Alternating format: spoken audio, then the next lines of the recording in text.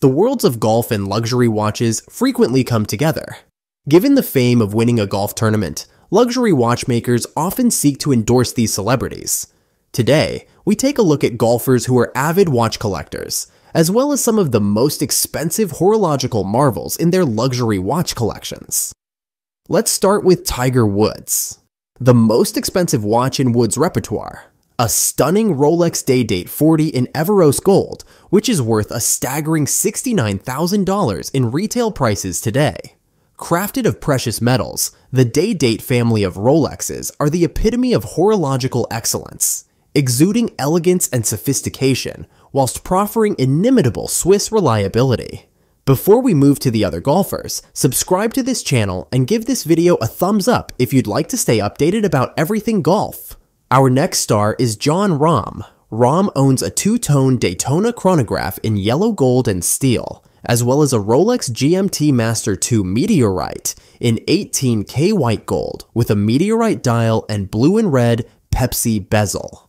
While the former is worth about $19,500, the latter commands an even more impressive price of around $60,000. Next in line is Brooks Koepka. The undisputable crown jewel of Koepka's luxury watch collection is a Rolex Skydweller in 18K Everose Gold, paired with a matching Everose Gold Jubilee bracelet. With a retail price of $50,900, the timepiece features a dark rhodium dial and an elegant fluted bezel among other aesthetic characteristics. In terms of complications, the timepiece proffers an annual calendar and a month display. Operating on the caliber 9002 movement, it also boasts 72 hours of power reserve. Next, we move to Rory McIlroy. The most expensive timepiece in Rory's collection is the Omega Deville Tourbillon in rose gold. It was this watch that accompanied Rory as he hoisted the trophy of the CJ Cup in 2021, marking his 20th PGA Tour win.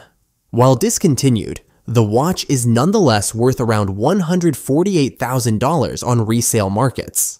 The final golfer on our list is Viktor Hovland. The most notable mention in Hovland's collection of luxury watches is his 50th anniversary Audemars Piguet Royal Oak in 18K gold. Featuring a smoked slate gray petite tapisserie dial, the watch operates on an exquisite caliber 7121 movement that is visible through its exhibition caseback. Prices of the watch differ across retail and secondary marketplaces, but it has been known to fetch between $70,500 to $165,000.